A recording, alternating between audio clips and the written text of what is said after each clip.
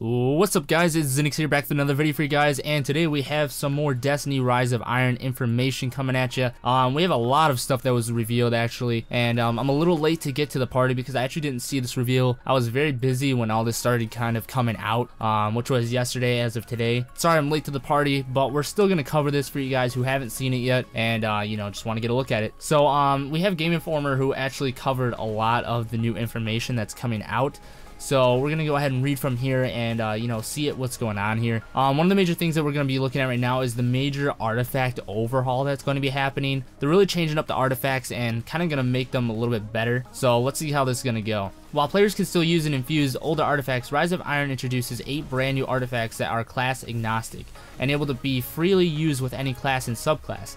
Each of the new artifacts connects to a particular member of the deceased Iron Lords, such as Felwinter, Jolder, or Skorri, or Yolder if you want to say it like that. Um, a new character named Tyra Karn is a centerpiece for Guardians looking to acquire the new Iron Lord artifacts. She sends players out into the Plaguelands to commit mighty deeds in memory of the Iron Lords, a task that should be pretty straightforward for anyone who engages with the new content. Upon completing that task, you gain an item called the Iron Lord's Legacy, which in turn can be used to acquire one of three artifacts Tyra has on offer in any given week. Over the course of 8 weeks or more of play, you should be able to acquire all 8 new artifacts. Each of these artifacts has a game-changing ability attached to it, one offers the option to melee enemy units and gain their allegiance for a short time. A second artifact eliminates your super but gives you two grenades, two melees, and an increase in all your stats. Each of the artifacts can be combined with exotic weapons and armor as well as subclasses to create new and interesting build options. Moreover, every one of the new artifacts is meant to evoke the character of the Iron Lord for which it is named. Yolder tended to charge headlong into danger so her artifact eliminates the sprint recharge delay. In our time playing, the artifacts were enjoyable to try out and the idea of an ongoing week to week collection experience should lend some legs to the expansion,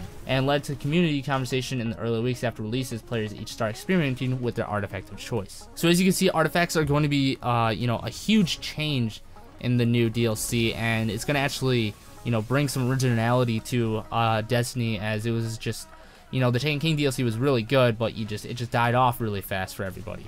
So in order for it to be game-changing abilities, like the whole factor of taking away your super to add two melee charges and two grenades, and also boost all your stats to full, and you know the, how the one offers to the option to melee enemy units and gain their allegiance for a short time, that is really cool. You're to actually be able to have pretty much your own minions following you around. That is really freaking awesome. So that's all we're to focus on for this video is the major artifact change. Um, we're to split these off to different videos of all the different news related stuff. Um, the next one we're to be focusing on, uh, you know, the return of some weapons that are really awesome and also, you know, kind of pissing a lot of people off. So we're going to get to that in the next video. Thank you guys for watching. Please comment, like, subscribe if you enjoyed the video. But without further ado, Harmony within, Hurricane without, Guardians, and I'll see you all in the next video.